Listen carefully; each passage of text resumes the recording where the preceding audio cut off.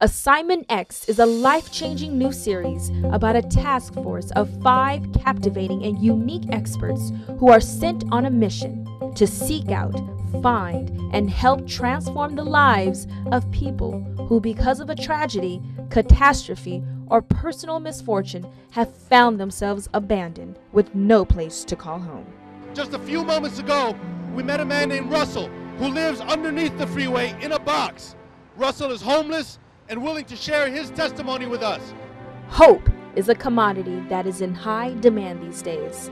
With calamity, disaster, adversity surrounding us at every turn, people are dying for a release. Assignment X is just that type of release. I stay in a box un, under a free beside the freeway. This is not me here. This is not me. You know uh, what you see uh, physically, uh, mentally, uh, everything.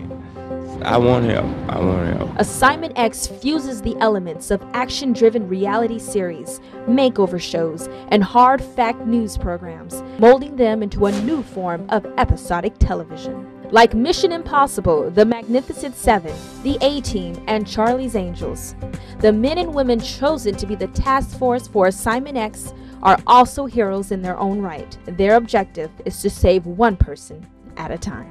Until you've been in a hole so deep. Hmm, that's right. A hole so deep can you realize how magnificent it is to be on a mountain so high. This is not the Russell that I met from day one. There's a there's a clarity about the new Russell, you know, that was always in there from the beginning, but needed to come out. I mean, you know, it brought tears to my eyes to see myself. I, I, I just about didn't recognize myself. One of the things that that we want to do is not just show the audience, show the people watching that there's a need, but follow up on that need. It's one thing to give somebody a, a helping hand, but it's another thing to hold their hand and help them through. Ultimately, Assignment X is about people helping people change lives. The show will focus on real people, real struggles, and real life in an unfiltered way. And I want to thank everybody. I don't know who saw me and what or what's going on, but I want to thank you. There's no turning back. No turning back.